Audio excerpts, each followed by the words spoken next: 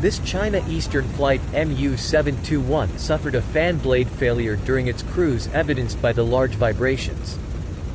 The Airbus A330 had to divert to an alternate airport.